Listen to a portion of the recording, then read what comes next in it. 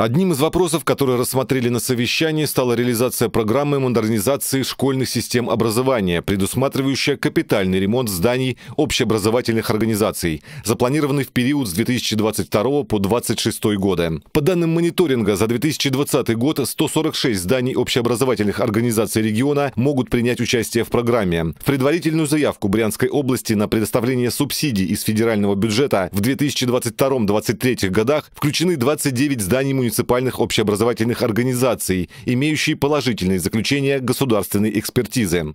В настоящее время муниципальными образованиями ведется работа по разработке и проверке проектно-сметной документации на выполнение работ по капитальному ремонту зданий еще 12 школ. Обсудили на совещании и ход реализации национального проекта «Жилье и городская среда» и регионального проекта «Жилье». По состоянию на 1 ноября 2021 года на территории региона ввод жилья составляет 390 899 квадратных метров. Это 130% к аналогичному периоду 2020 года. По информации застройщиков, на 2022 год планируется объем ввода жилья в эксплуатацию порядка 250 тысяч квадратных метров. В многоквартирных жилых домах прогнозный ввод объектов индивидуального строительства составит порядка 190 тысяч квадратных метров. В целях стимулирования жилищного строительства на ближайшие годы правительством Брянской области в адрес Министерства строительства и жилищно-коммунального хозяйства была направлена заявка на участие участие в федеральном проекте «Жилье по двум дорогам» по улице имени Олега Визнюка и по улице имени Ильи Иванова. В настоящее время получены положительные заключения государственной экспертизы проектов